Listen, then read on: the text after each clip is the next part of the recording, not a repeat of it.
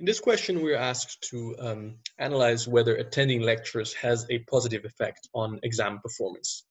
And we're going to do that through um, looking at this data set on um, college students, which I'm just loading up to Stata right now. So it's a data set on um, students and their class attendance and exam performance. I have here 674 observations of 11 variables.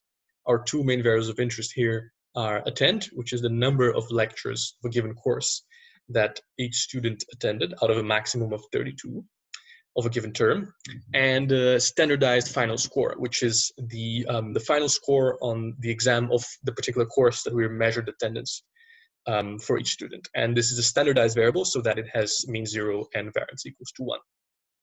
So in item A, we're asked to um, run a simple uncontrolled regression on the final score on attendance and analyze what the effect is and whether the effect is large or small. So I'm going to use the standard stata regression command to regress standardized final score on attendance.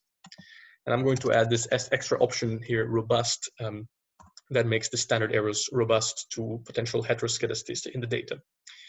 So when we do that, our result is uh, this positive coefficient of 0.0278, which means 2.8% of a standard deviation. Uh, it's not very big in magnitude. 2.8% of a standard deviation is definitely not a lot. And, uh, but it's significant. It has a p-value of very close to zero and a t-statistic of uh, around four.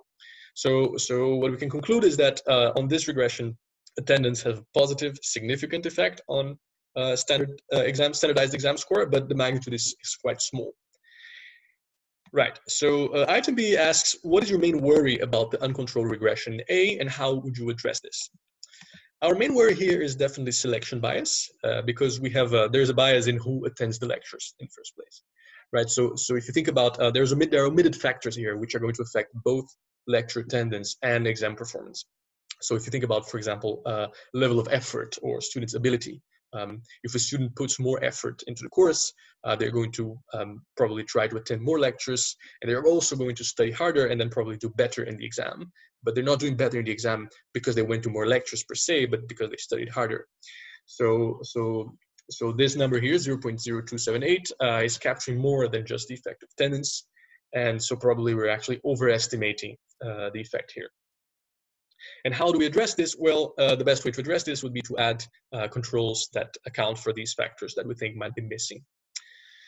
And that's exactly what we're asked to do in item C. We're meant to uh, test three potential controls and um, describe whether they are good controls and solve the issue that we've just discussed, uh, and uh, whether they create additional problems and whether uh, when what happens to the coefficient on attendance. So the first control that we're testing is term GPA which is the, um, the GPA of each student on the current term in which they take this test. And first of all, is this a good control? Um, the answer is not really, uh, because for various reasons, and one of them is the fact that the outcome variable, which is uh, standardized final exam score, is a part of the term GPA because GPA is calculated taking into account all the exams. So our outcome variable is a part of our control. That doesn't really sound very good.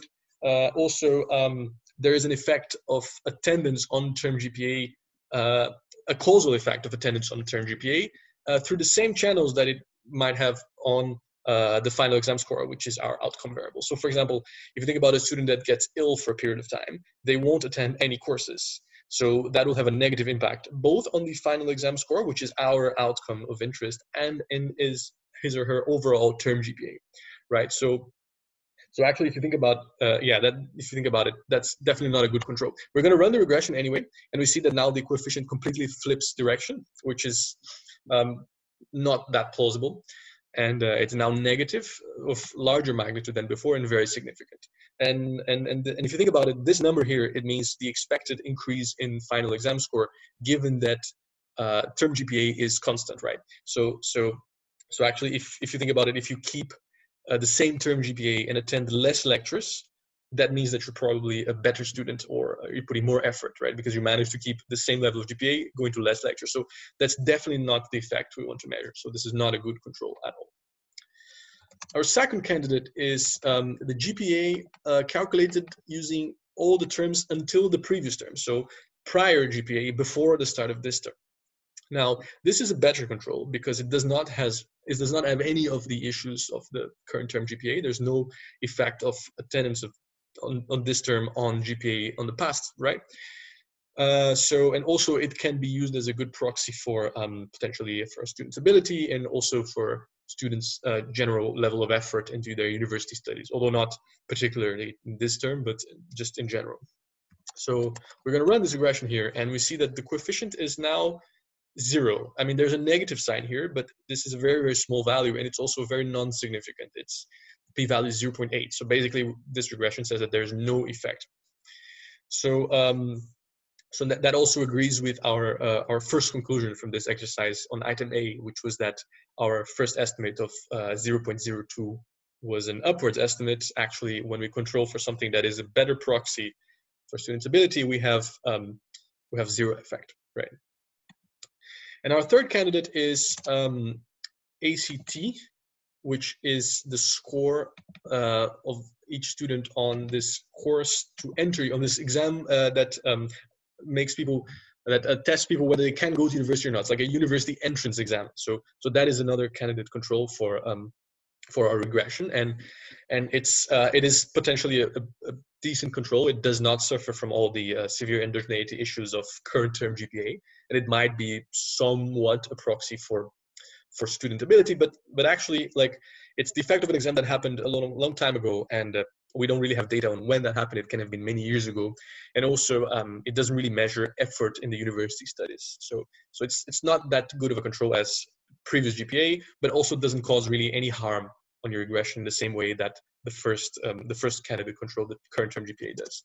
So if we run it, we yeah we have we definitely still have some some selection bias here because we're not controlling for the for the effort that students exert and uh, so the selection bias in the upwards estimation remains. In fact, it's even bigger than uncontrolled regression, 0.037, with a very, very low p-value, so significant effect.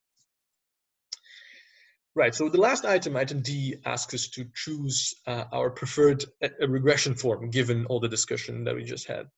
And, um, and my answer to this is adding both ACT and prior term GPA as controls is probably the best we can do with these three candidate variables. Definitely not term GPA as it causes um, a lot of issues related to endogeneity. So we should not use that one. But ACT score and um, prior GPA can be good proxies for omitted factors such as student ability and students' effort level. So let's run this specification, standardized final score on attendance, prior GPA and ACT, robust standard errors.